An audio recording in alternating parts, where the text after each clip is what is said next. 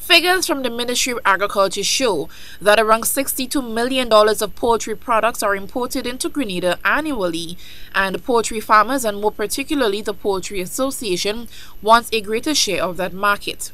The Grenada Association is taking steps to increase its earnings by working with government to increase duties on what it calls frozen bone-in chicken imported from various countries.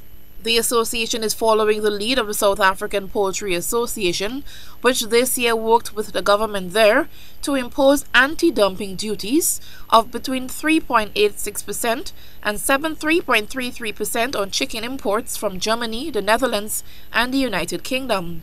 Joshua Lewis, strategic manager for the local poultry association, says they are hoping the implementation of a poultry policy can address the situation. We're hoping that um, what will happen is that um, for every hundred um, poultry um, that is imported into Grenada, the local producer will get a percentage of that. So if an importer is bringing in a hundred, they will have to say take um, the figure hasn't been agreed yet, 20 or 30 of that 100 from the local producer.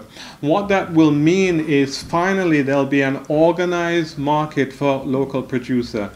Uh, the local producer will have the confidence now to actually produce knowing that the chicken wouldn't stay on the shelf uh, and rotten really.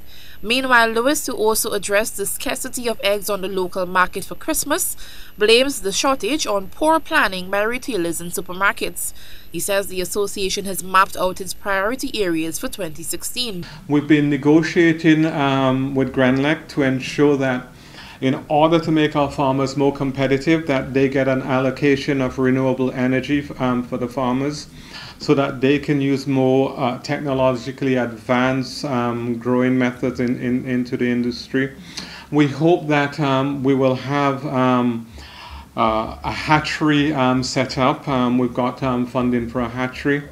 So that's the second goal. And the major bit that we hope that we can achieve this year is a centralized um, processing facility whereby we can um, essentially buy all the products from the farmers and essentially process it and uh, sell it on. Because farmers have been crying out for years that they don't want to be processing. They just want to grow the birds and somebody buy it and process it and sell it and distribute it at present, the consultation process on the poultry policy is in its final stage, and the association and government is hoping that it would be fully implemented by March 2016.